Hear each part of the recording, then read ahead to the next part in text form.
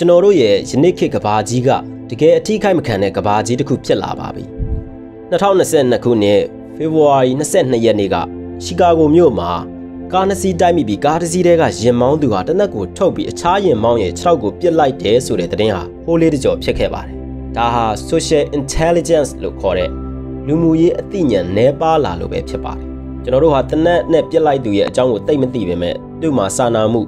ကိုကိုကိုသိနာလည်မှု မျှဝေခံစားတတ်မှုအတွေးတွေကိုပြန်သုံးသပ်ခြင်းနဲ့စိတ်ရဲ့သဘော theory တွေသိပြီးရှိမနေဘူးလို့တော့ယူဆလို့ရပါတယ်။တနည်းအားဖြင့်ပြောရရင်သူ့မှာ social intelligence ဆိုတဲ့လူမှုရေးအသိဉာဏ်မရှိပဲမတော်တဆကားတိုက်မိတာကိုသူ့ကိုတမင်လာတိုက်ခိုက်တာလို့ယူဆသွားလို့ပဲဖြစ်ပါတယ်။ဟုတ်ကဲ့ scale မြန်မာကနေကြိုဆိုလိုက်ပါတယ်။ scale မြန်မာကတော့ personal နဲ့ professional ရည်ချင်းတွေကိုမြင့်တင်ပေးဖို့အတွက်နေ့စဉ်ဗီဒီယိုများကိုတင်ပေးနေတဲ့ learning platform တစ်ခုဖြစ်ပါတယ်။ဒီနေ့ကျွန်တော်က လူမှုရေးအသိဉာဏ် social intelligence ဆိုတဲ့အကြောင်းကိုပြောပြပေးမှာပါကျွန်တော်ကတော့ကိုပိုပိုဖြစ်ပါတယ် social intelligence ဆိုတာကိုကိုကိုသိနားလဲတာနဲ့အခြားသူတွေကိုနားလဲပေးတတ်တာဖြစ်ပါတယ် social intelligence ကိုဘဝဘေးအသိပင်ကိုအသိလို့လည်းပြောလို့ရပါတယ် social intelligence ကကျွန်တော်တို့ဘဝရဲ့အခြေအနေအမျိုးမျိုးနဲ့ပေါင်းတင်ဆက်ဆံရေးအမျိုးမျိုးကိုထိန်းချုပ်ရမှာအရေးကြီးတဲ့အချက်တစ်ခုဖြစ်ပါတယ်ဒီဗီဒီယိုထဲမှာကျွန်တော်တို့က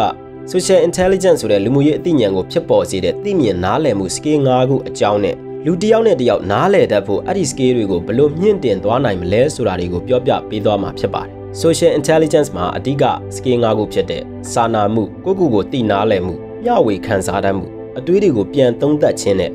စိတ်ရဲ့သဘော theory တွေပါဝင်ပါတယ်ဒီ skills တွေကကျွန်တော်တို့ကိုကိုကိုကိုအကြောင်းပိုသိလာစေပြီးအခြားသူတွေရဲ့ခံစားချက်တွေကိုအတိအမှတ်ပြုနားလည်ပေးတတ်လာစေပါတယ် စာနာမှုဆိုတာကအခြားသူတယောက်နာကျင်ခံစားနေရတာကိုကိုကဂယုဏတက်မိပြီး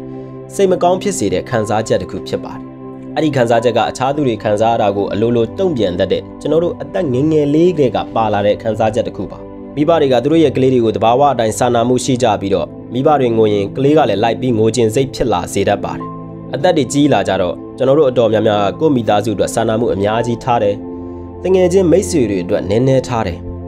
သို့တော့ဒဇိမ့်တွေအတွက်ကတော့စာနာမှုတိတ်မထားတတ်ကြတော့ပါဘူးကိုကိုကိုသိမြင်နားလည်မှုဆိုတာကကျွန်တော်တို့ရဲ့ကိုယ်ပိုင်ခံစားချက်တွေကိုကိုကိုယ်တိုင်ကနားလည်ခြင်းပါပဲ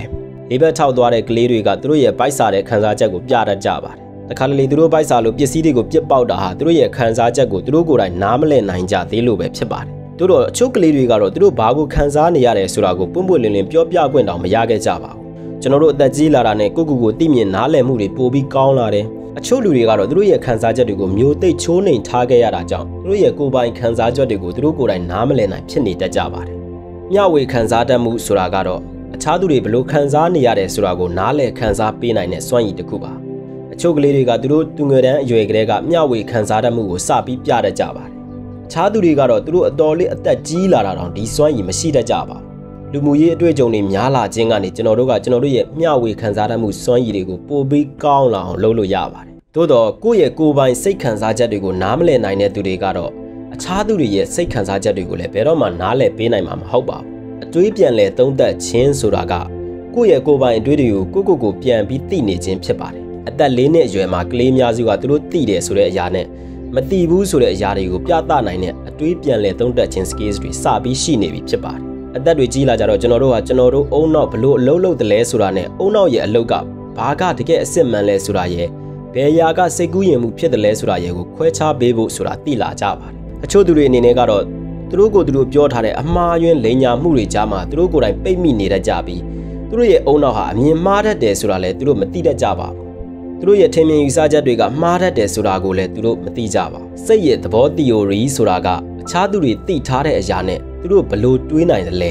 ပြုမှုနိုင်တယ်လဲဆိုတာကိုနားလည်ပေးနိုင်တဲ့စွမ်းရည်တစ်ခုဖြစ်ပါတယ်။ကလေးတွေကစိတ်ရဲ့သဘော theory ကိုအသက်6နှစ်အရွယ်မှာစပြီးပြသလာတတ်ကြပါတယ်။အဲ့ဒီချိန်ကစပြီးသူတို့ကအခြားသူတွေမှာလည်းသူတို့ရဲ့ကိုယ်ပိုင်ထင်မြင်ချက်တွေအချက်လက်တွေရှိတတ်ကြပြီးကောက်ချက်ချတာတွေသူတို့ရဲ့ကိုယ်ပိုင်ခံယူချက်တွေနဲ့အပြုအမူတွေမတူညီနိုင်ကြဘူးဆိုတာကိုတဖြည်းဖြည်းသိလာကြတာဖြစ်ပါတယ်။အရွယ်ရောက်လာသူတွေအနေနဲ့ကတော့စိတ်ရဲ့သဘော theory ကိုသိထားတယ်ဆိုရင်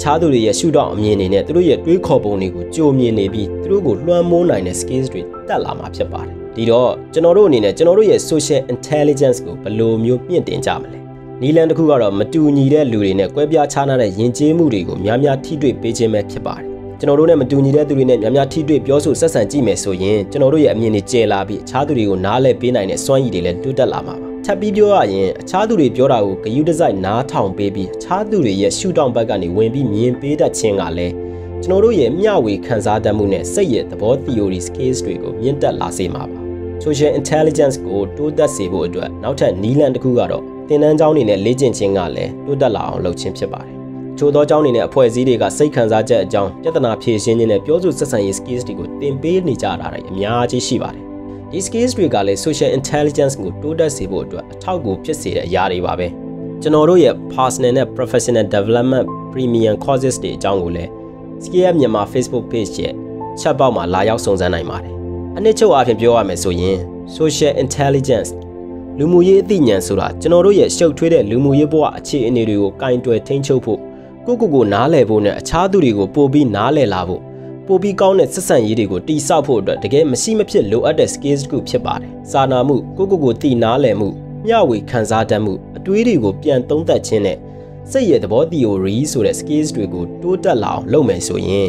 ကျွန်တော်တို့ဟာလူမှုရေးအသိဉာဏ်ပိုရှိလာပြီးကျွန်တော်တို့ရဲ့ကိုယ်ပိုင်ဘဝနဲ့အသက်မူဝမ်းကြောင်းအလုပ်တွေမှာအောင်မြင်မှုတွေပိုပြီးရရှိလာနိုင်မှာပါပဲ။နားထောင်ပေးကြရတော့အားလုံးကိုကျေးဇူးတင်ပါတယ်။အားလုံးပဲကိုယ့်ရဲ့ social intelligence ကိုမြင့်တင်နိုင်ကြပြီးတော့ စိတ်ရောကိုယ်ပါကြန့်ခိုင်တန်မာတဲ့သူတွေဖြစ်လာကြပါစေလို့ကျွန်တော်တို့ skill မြန်မာကနေဆုတောင်းပေးလိုက်ပါတယ်